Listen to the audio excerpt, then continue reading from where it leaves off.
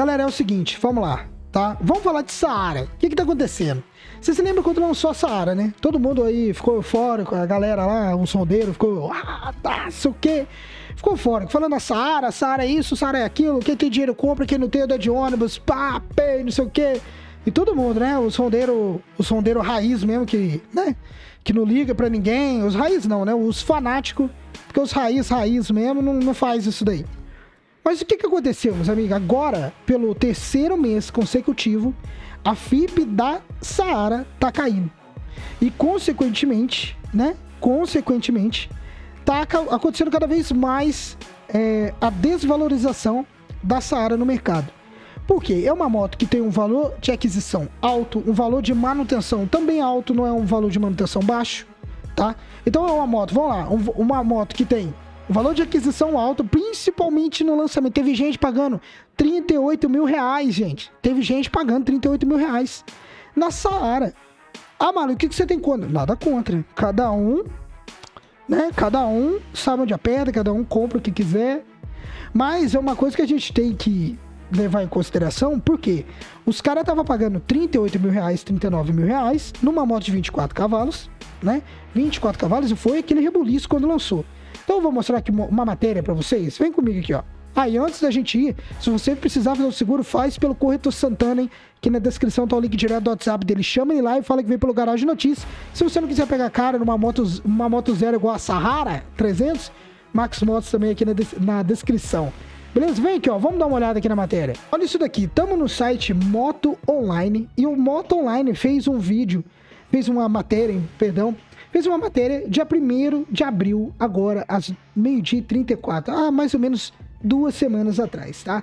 E aqui, eu não vi essa matéria, gente. Eu não vi essa matéria. E olha que eu, é, vira e mexe, eu, sabe, eu olho todos os sites de notícia para trazer as melhores notícias aqui para vocês. Só que uma coisa muito interessante, porque cadê é, aquela euforia, né? Por, por isso que eu falo para vocês, tem que ter cuidado quando o assunto é Honda. Tem que ter cuidado, porque a galera foi os emocionados foram, ah, compraram, pagaram 30 e poucos, 40 mil reais.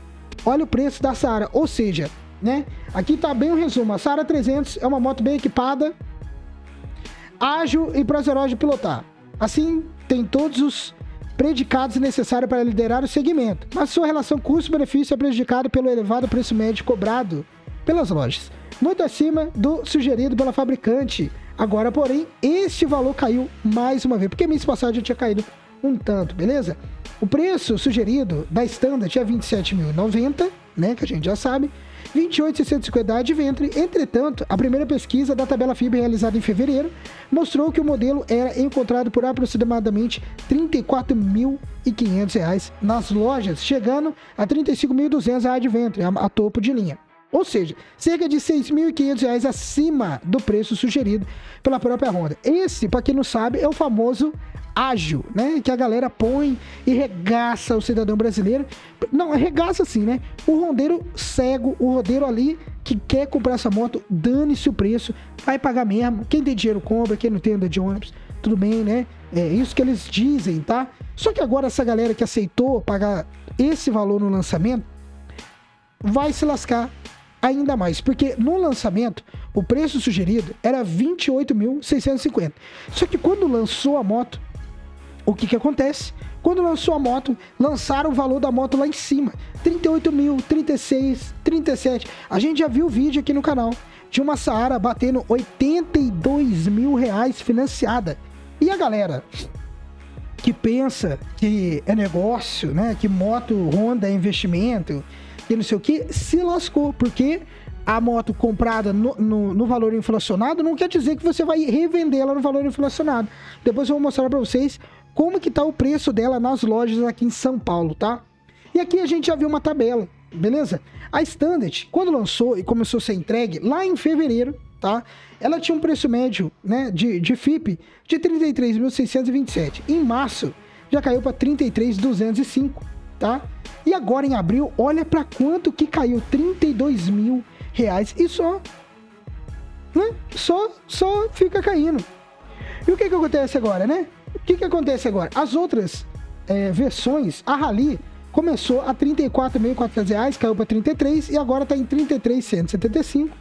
A Adventure começou em 35 mil, agora já está em 34, mais de mil reais de queda.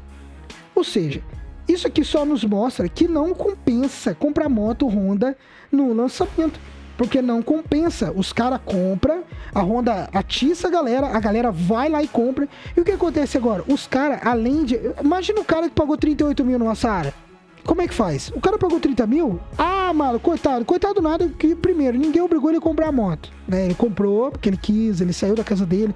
Nenhum vendedor foi na casa dele buscar ele para comprar a moto. Para começo de conversa. Aí, o que acontece? Tem esse, essa desvalorização, porque é a consequência dos meses de emplacamento. E o que está acontecendo? Por que, que o preço está caindo? Mas porque nem todo mundo está aceitando pagar preço inflacionado na Saara, porque a moto de longe não vale isso. Olha só no site Web Motors como que a Saara está na precificação aqui no estado de São Paulo, só para vocês terem uma ideia, beleza? Desconsidera essa daqui porque o cara colocou Saara, mas ó, dominar 400. Olha isso daqui. Em São Paulo, ela tá 29.236. Tem inúmeras Saaras abaixo de 30 mil. Tudo em São Paulo. Tem mais algumas aqui com 30 mil e olha como que o preço caiu em São Paulo. Em São Paulo tem vários fatores para que isso esteja acontecendo. Preço, né? Porque se não tiver preço ali em São Paulo, não vende, entendeu? Não vende. Eu não sei se for a geração esqueça tudo, que aí compra mesmo e dane-se, né? É, e dane-se, eles vão lá e compram mesmo. Mas agora, em São Paulo, olha isso, meus amigos. Tudo 30.890. Tudo em São Paulo, tá? Tudo Guarulhos, São Paulo, Francisco, tá vendo? É aonde São Paulo é aonde a maior parte da competição de mercado está. Lander em São Paulo tá no preço competitivo. FZ25 então nem se fala. CB300 aqui tá passando mal com a FZ25. Inclusive, se vocês quiserem, eu faço um vídeo falando mais sobre a FZ25 para vocês, porque é o que está acontecendo, gente. A dinâmica de mercado está pedindo cada vez mais um preço mais coerente. E os lojistas da Honda, com determinados produtos, não estão conseguindo fazer isso. Por que, que não estão conseguindo fazer? A Saara é um reflexo disso. A CB300 é um reflexo disso. Porque a Yamaha, com, com modelos totalmente mais defasados do que os modelos da Honda, estão emplacando igual ou até mais do que a própria Honda que esses modelos que são atualizados. Então isso aqui só nos mostra onde está o sentimento de mercado, né? E agora também complicou para aquela galera que comprou moto inflacionada. Como é que vai fazer agora? Esse é mais um exemplo do porquê que a Honda ela pinta e borda nas, na, na, pessoa, na cabeça das pessoas que, que não chegou o conhecimento ainda. Que não chegou a coerência na hora de pesar na balança. Porque é, a Honda ela vende, vende muito, vende, beleza. Mas a Honda só é Honda aqui no Brasil por causa de CG, BIS, PCX, Bros e Pop. Tirou esses cinco modelos ali, desses modelos pra lá, é briga de facão. Vocês podem ver, a Yamaha incomoda a Honda na Street 250 a 300 cilindradas. A Yamaha incomoda a Honda na categoria da Saara com a Lander, porque e muitos criadores de conteúdo falam que a Lander não, é, não tá nem na mesma categoria da, da Saara. Tem muitos criadores de conteúdo que falam isso. É por quê? Né? Porque é a opinião dos caras, beleza? Mas isso aqui é notícia de verdade. Isso daqui, o tio Montanha trouxe um vídeo hoje e é muito real. É muito real isso, tá? Só não enxerga quem realmente não quer. O mercado polarizado tá chegando ao fim, de pouco em pouco, é gradativo, é trabalho de formiguinha, vai indo, vai indo. Uma hora, meus amigos, nós iremos ver o mercado da forma que nós sempre quisemos ver aqui no Brasil. E é isso, tá? Espero que vocês tenham entendido o que eu quis dizer, né? Deixa eu ler o chat aqui. Não existe um único mundo ou universo onde vale a pena pagar 30 salários numa brossa com trambolona. Verdade, cara. Mas comenta aí o que, que vocês acham. Comenta aí, beleza?